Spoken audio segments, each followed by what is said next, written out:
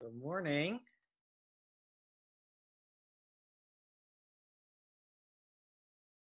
Welcome to Lemonade Meditation.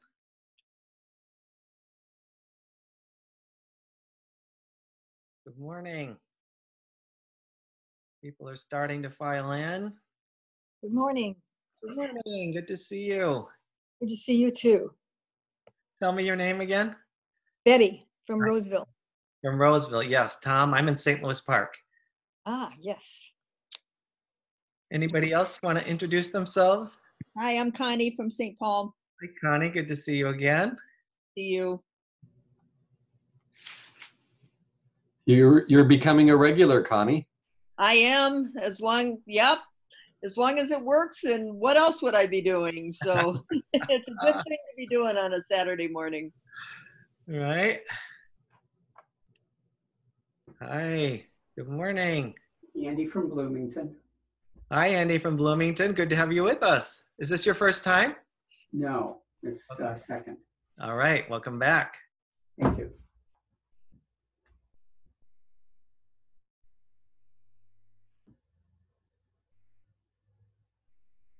Well, this, of Hi. course. Oh, go ahead. Stephanie from Edina. Stephanie from Edina. Welcome back, Stephanie. Um, thank you. Good to have you with us. Thanks, likewise.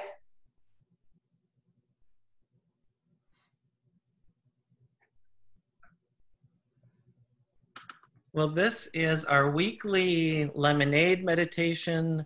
Uh, I'll be leading the meditation this morning. Nate, any announcements before we dive in?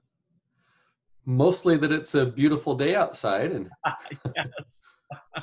and I'm very excited to uh, to be with you all today. And um, and if things if we do have any technical glitches, if you do get kicked off, just click the link and you'll be able to come right back in. Um, and Tom will lead today, but we'll reserve the last 10 minutes or so for us to talk about things, process things, and we'll probably have everyone on mute during the meditation. But then when you want to speak up at the end, you can unmute yourself. Those are the only logistical things I'm thinking of, Tom. Perfect. I, I had that the same thought about the weather. We might have some competition, stiff competition. so. Ah, great dedication to uh, to stay indoors. Well, so today I'll be leading us through what I call um, the Sea of Compassion, S E A, like like the ocean. So um, just like with any other instruction, I always think of um, the uh, comparison to yoga with this. Yoga instructors, besides always saying namaste, they also say take care of yourself. You know, adapt what we're doing to your body or your body of the day. So if if um, an ocean uh, metaphor doesn't work for you, you know just use something that does work for you. And, and that goes for any instruction. It's just an offering just a suggestion and take so take care of yourself of course is the top um, the most important thing. So finding a comfortable um, seated position or uh, it could be lying down but in a place that feels supported. If it's available and comfortable, having the spine as erect. Now, not in a in a tense way, but in a um, we sometimes say dignified way. And um, this is an instruction that comes from all kinds of traditions. So when I hear instructions like this that are from you know east and west uh, and they're thousands and thousands and thousands of years old i tend to think there must be something to it. So the idea is that our spine is our central channel that connects us with the earth and the sky. And um, to have it to be not again not in a tense way but in an, an upright way uh, brings more benefit to ourselves and to others so finding that position that's both comfortable and alert, inviting and allowing the body and the breath to settle, and, and just noticing for a few moments without changing it as best you can, what it's like to be breathing in this moment.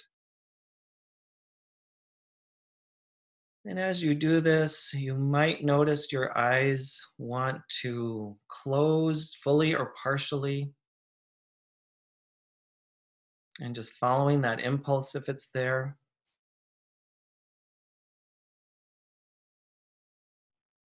Inviting and allowing the body and the breath to settle and just following the breath. Not changing it, but noticing it, waking up to it, particularly perhaps the out breath.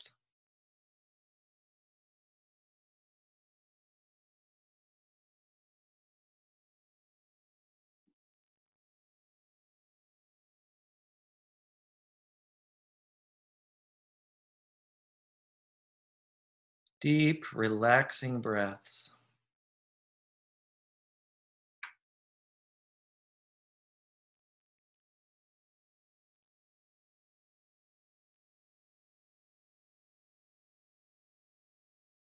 Noticing that that rhythm is similar to the rhythm of the sea.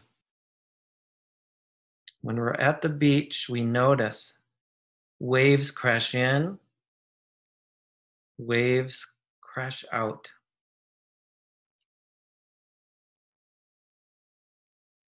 It's as though our breath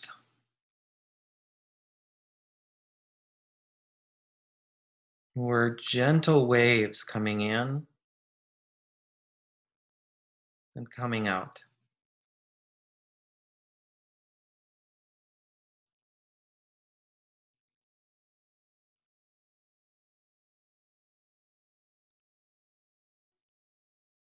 Tides come in and tides come out. Same with our breath.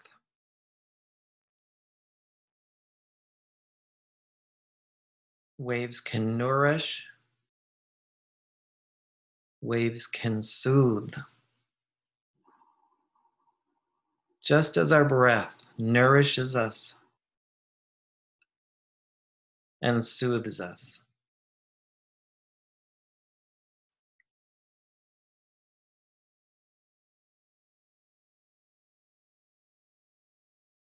And as you continue to breathe easily and naturally, if it's comfortable and available, perhaps placing one or two hands on your heart or somewhere else on your body that feels soothing in this moment. And allowing whatever it is you're grateful for to just arise there deeply in your heart and emanate out in all directions. This is very soft, nothing is forced here, just gently inviting in. What am I thankful for in this moment? And allow that to fully sink into the whole heart and from there emanate out in all directions above and below, in front and in back, the sides, and everything in between.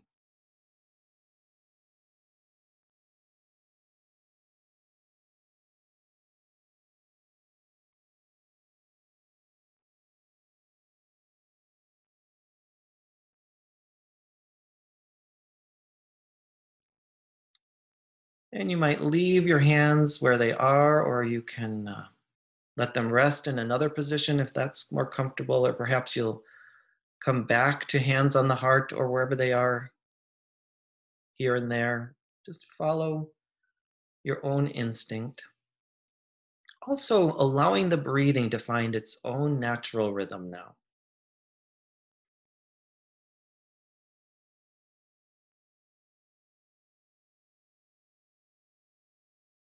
If it's comfortable, allowing yourself to be gently rocked and caressed by the rhythm of the breath, just as the body might be in a gentle sea, on a calm, beautiful day.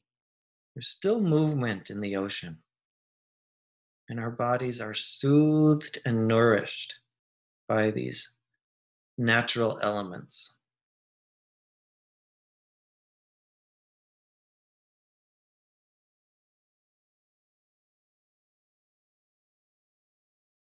And focusing your attention next, if this is comfortable, on the in breath only.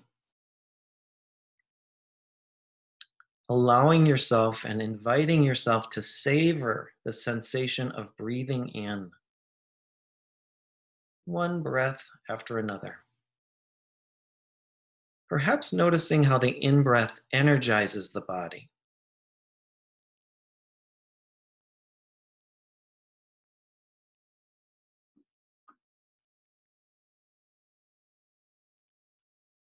Perhaps breathing in kindness and compassion for yourself on the in breath.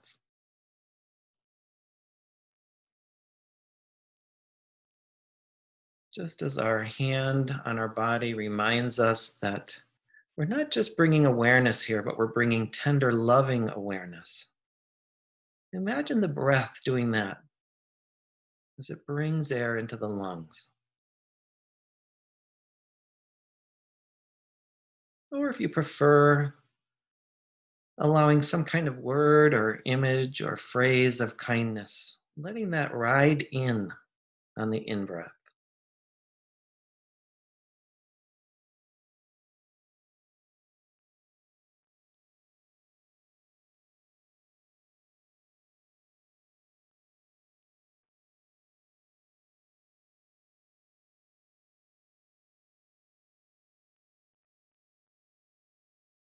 And in your own time, when and if you're ready, just letting that fade very softly, very gently, shifting your, your attention to the out breath now. Feeling your body breathe out. Really noticing, relishing in the ease of natural exhalation.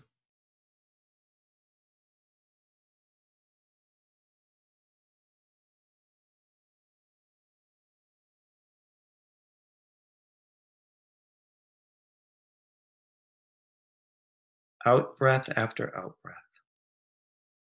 Full attention as best you can in this moment there. Your attention may wander as we go, and whenever that happens, just gently acknowledging that that is what has happened and guide it back very gently. For now, we're focusing on the sensation of the exhalation.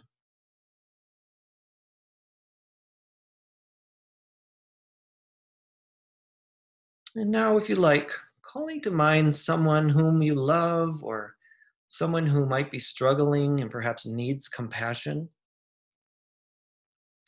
And visualize that person you love or who might need compassion. Visualize that person as clearly in your mind as you can. Again, without forcing or struggling. This is a very gentle prompt just bring them to you, invite them to you. Perhaps use any other sentient senses in your memory of this person, the touch that might be involved, or aromas, or sound of their voice.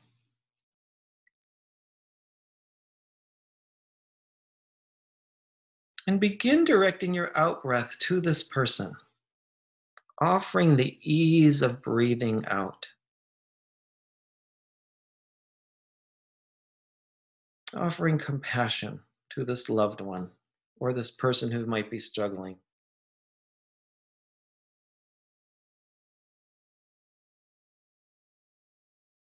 Wishing them ease, sending them kindness and compassion with each out breath, one after the other. And if for any reason it's easier for you, you might breathe out to others in general rather than a particular person, whatever works for you. Just breathing out kindness and compassion to another person or persons.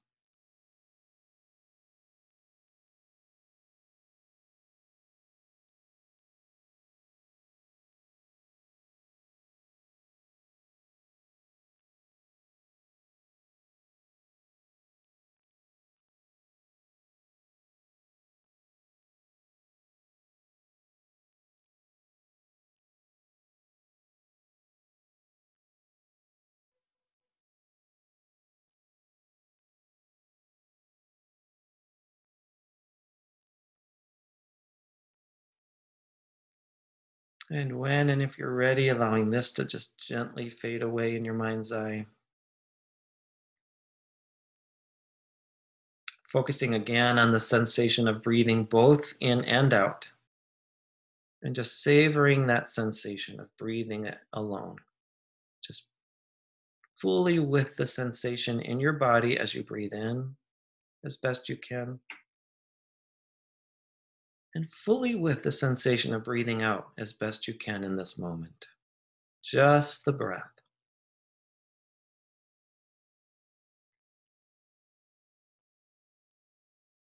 Just the breath in the body.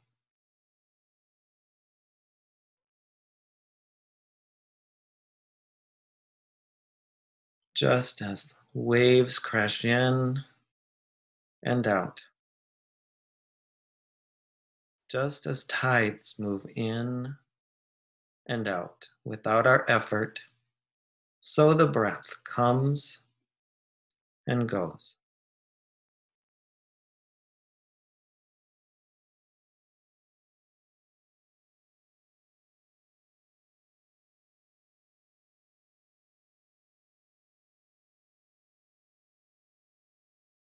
bathed by a sea of compassion.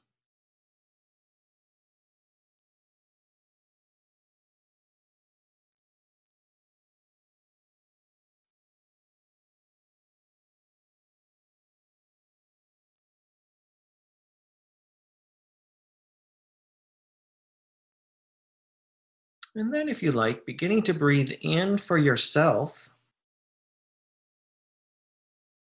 and breathe out for that other person who came to you before or persons. In compassion and kindness for me, and out kindness and compassion for you.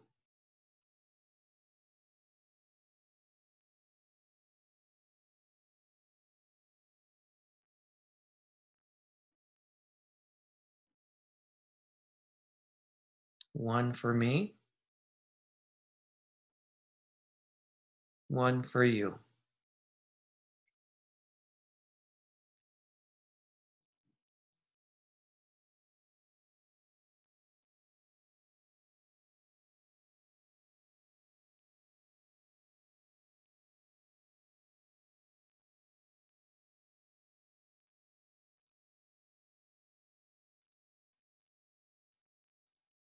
Drawing kindness and compassion in for yourself on the in breath. Sending something good out to another on the out breath. Just as waves wash over us as they come in and out, so as we breathe compassion and kindness washes over us on the in breath. And then we offer that kindness and compassion or something else, whatever words or phrases or images might come to you, something good out to another or others on the out breath.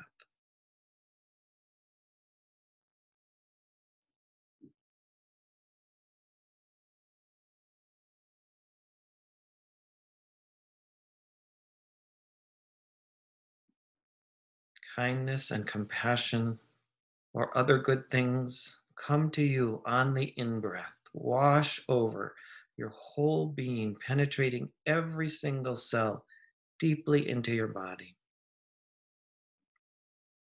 And on the out breath, similarly, kindness, compassion, or other good things wash over that beloved other person or persons who might be struggling or in need of some kind of assistance or compassion on the out breath. Penetrating deep into their bodies. A wash in kindness and compassion.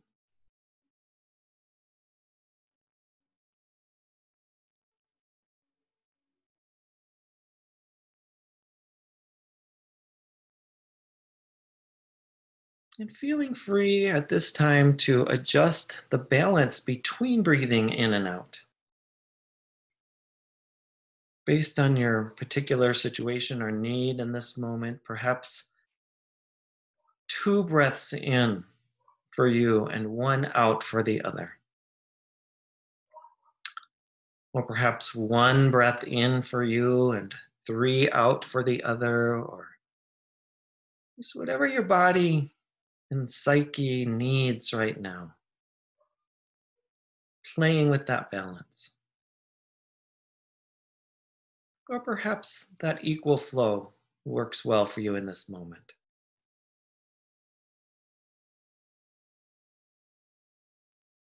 Just adjusting to your current need, current situation. Breathing in kindness or compassion for yourself, just like waves wash over you. Breathing out kindness and compassion and other good things to others on the out breath in whatever proportion.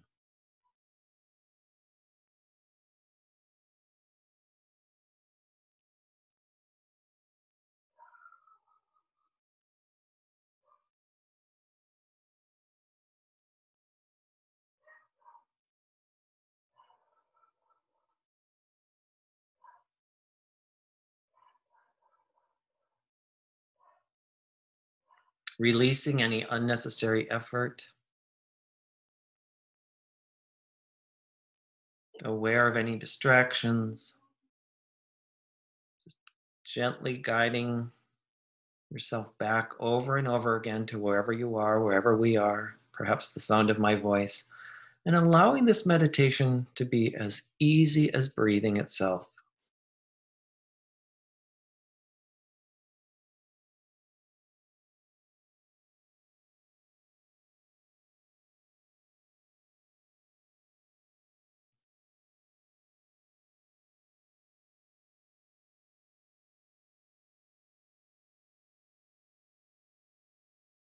Kindness and compassion for the self on the in breath.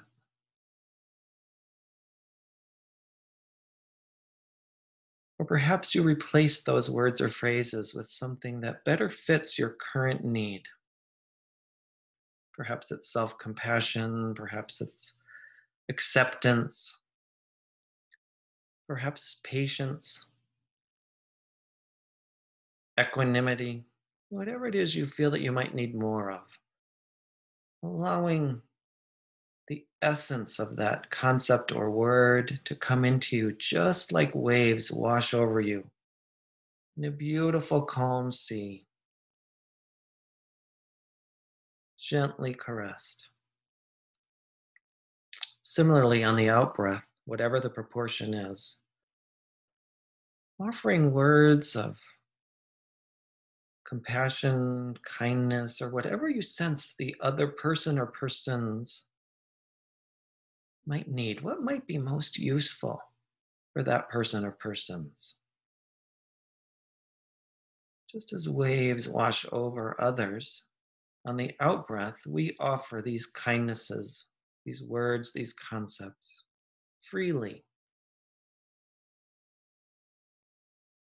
We're both filled we both receive and we offer to others and we give.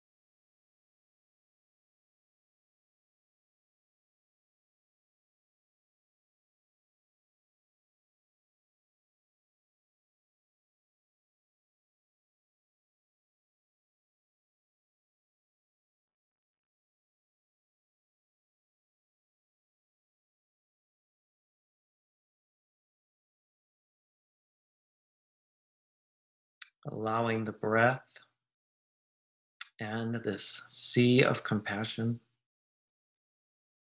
to flow in and out.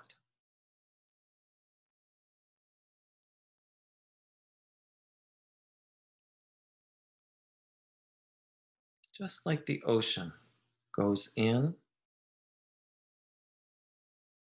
and out.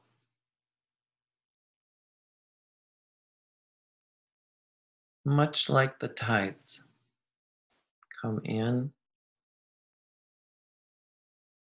and out. A limitless, boundless, endless flow, restoring our resilience.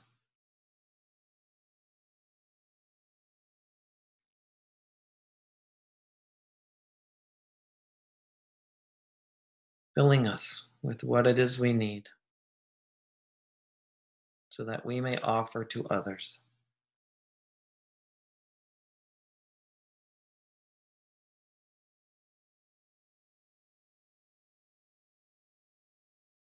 And allow yourself to be part of this limitless, boundless, endless flow.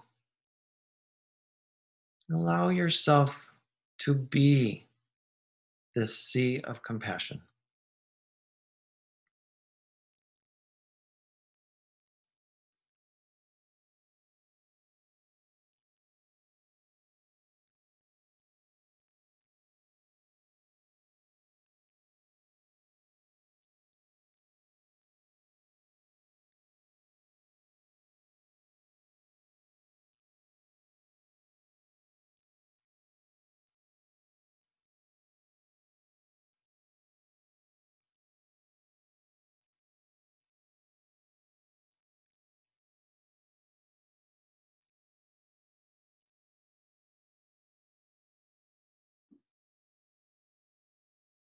And then when you're ready, just allowing this part of the activity to gently, gently fade away. See if you can return to sensations of the breath itself alone. And see if you can notice any difference, if there is any, between what that was like when we started and what's it like to just tune into the sensations of the breath in the body now as you breathe in? And as you breathe out. We'll take a few cycles of that in and out, just noticing the quality of the breath in the body now as compared to earlier.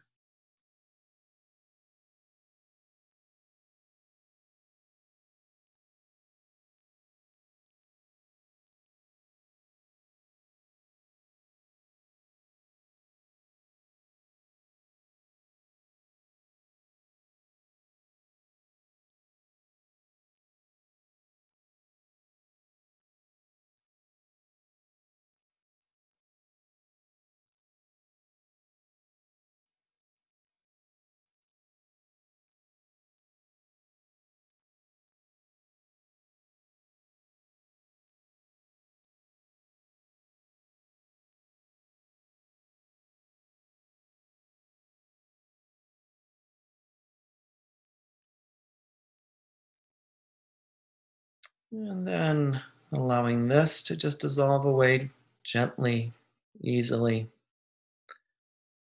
When you're ready, inviting the chin to drop very, very gently and slowly toward the chest. Slowly fluttering the eyes open and returning to the world of color and sound.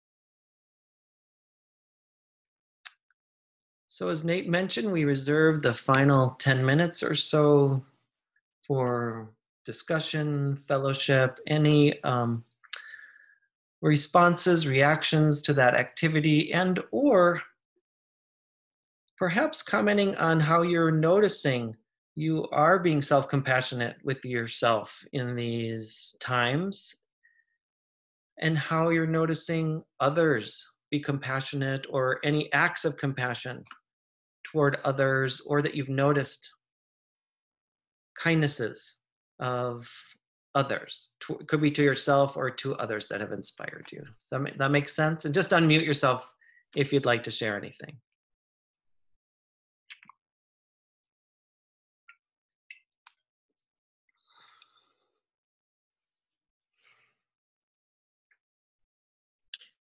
That was really lovely. I enjoyed that. Thank you will you tell us your first name again Trish. hi trish go uh, ahead Um, I found myself. I'm. I learned in yoga to do something called an ujjayi breath. I believe that's how you say it. Um, and it kind of sounds like the ocean. Um, you put your tongue to the roof of your mouth and you kind of create some sort of sound in the back of your throat when you're breathing. And that really resonated well for this meditation. nice so you used that I did. I did. nice ah When my mind started to wander, uh-huh. um, that was helpful for me.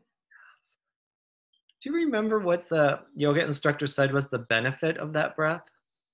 I don't. I asked because I can't remember. I I I think you did pronounce it right. Ujjayi. I I think that's right. Yeah. And it's um if anybody wants to try it, right? So yeah, tongue at the roof of the mouth, and then it's just making a sound kind of in the throat, right? Like Mhm. see if I can do it.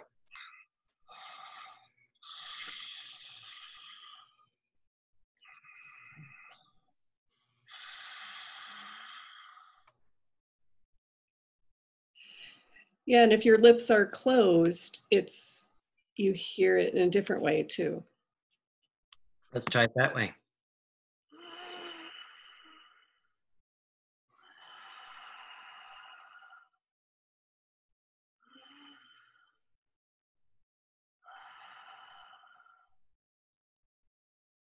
Yeah, it totally sounds like snorkeling to me. I've not scuba dived. I don't know what that sounds like. But definitely snorkel. Yeah, that fits very well. I wish I could remember the benefit. I have I've definitely tried it and heard of it. Yeah, I don't know what either. either. Anybody? Anybody a yoga? A yogi? I'll see if I can uh, research it, and uh, and we'll talk about it next week maybe. I have no idea how to spell it, but I learned it from Yoga with Adriene. Locally in Minneapolis area? No, she has a YouTube channel. Uh huh.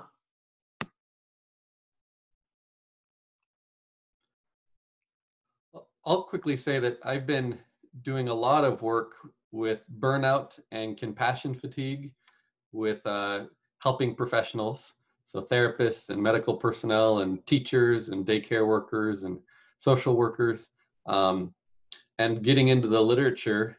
And really, the best thing you can do for burnout recovery or healing from compassion fatigue is that compassion, being able to receive that from others, but also direct that back toward yourself.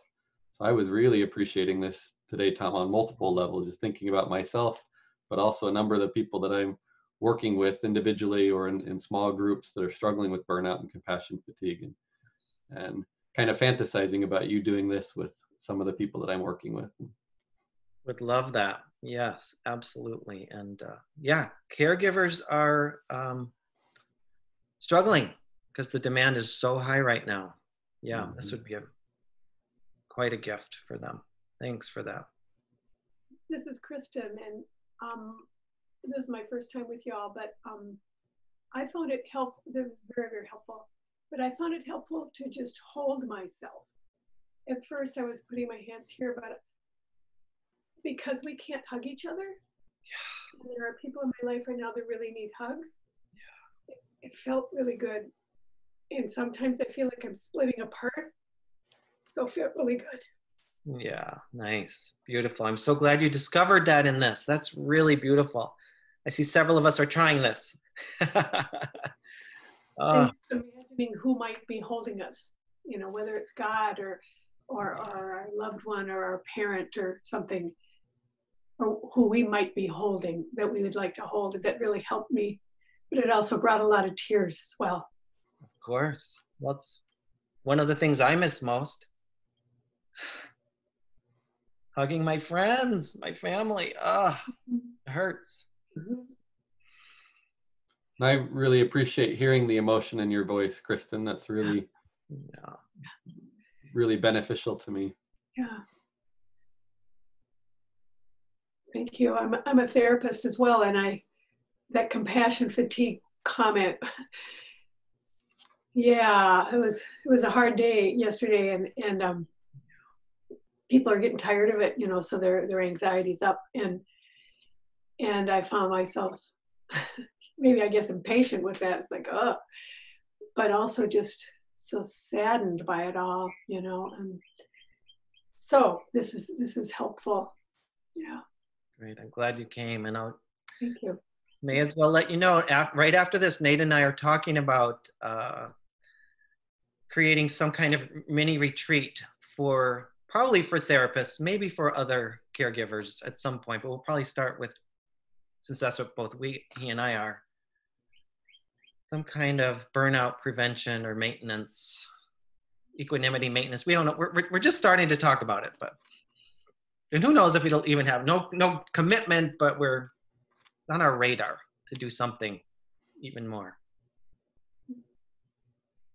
Might have time for one or two more quick comments if anyone else would like to share about your experience with this today or how things are going, what you're noticing out there. Connie, were you going to say something? Yeah, I was. Um, this is a little bit um, different than the the course of the other comments. I, I certainly really appreciated this um, meditation. Um, I was thinking um, about your original question about the kindnesses, and one of the most remarkable things that's happened to me during this time is people from way, way, way in my past have emerged and taken the opportunity to find me on Facebook or whatever.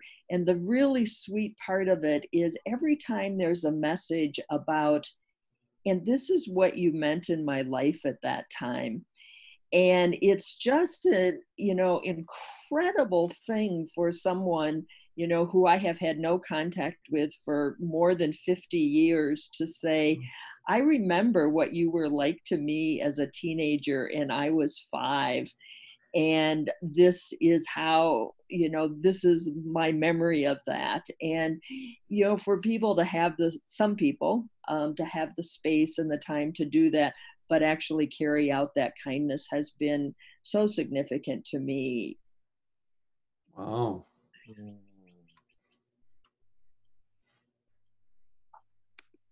Now I want to know what you were like when you were five or 15.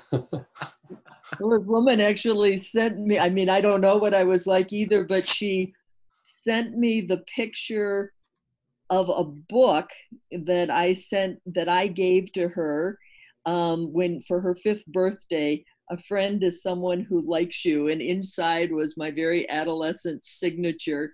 And she said, Oh, kept it on her end table all this time. Wow. you know i mean it's just it's just remarkable the little pieces of memory that we carry and what brings them forward and That really is. Well, and we we do have less than one minute, so we're probably going to get booted off here in a moment. But thank you for sharing that, Connie. And Sure. and I'm quite excited about next week. We're going to be doing uh, one of the things that I enjoy most, that my students actually ask for the most in a, a meditation. We do it once each term. Um, so I'm looking forward to next week um, and maybe having many of you back for for that. In our last 12 seconds, Tom, do you have anything you want to add? Just again to invite people as we go out to